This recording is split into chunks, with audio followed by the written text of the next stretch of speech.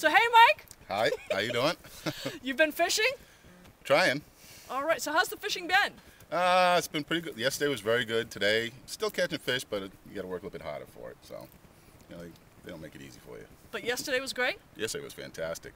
I mean, I think I came out here at five o'clock right here at Junction. I think within ten minutes I had eight fish. No So, kidding. Yeah. What are you catching them on?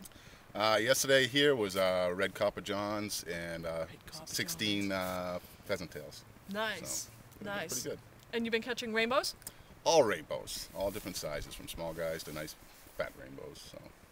And you've been seeing them rise. Yep, I've been getting them on the rise. I've been getting them on little number 20 uh, BWOs, but that's early in the morning or late, late in the afternoon. So Nice. doing pretty good. So you're staying here through till Sunday. Right now till Saturday, maybe Saturday? Sunday. Oh, all I'll right. see.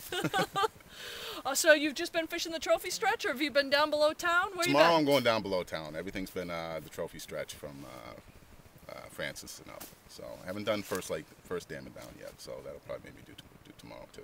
So Awesome. A little windy today. yeah, but it's good. It gets uh you know gets that clear off the water so they don't see it coming. Alrighty. Well, best of luck. well, I hope hope to do good tonight. So we'll see. All right, we've got uh, some cabins open this weekend. Mike's here fishing. He says it's good. Come on up. It's very good.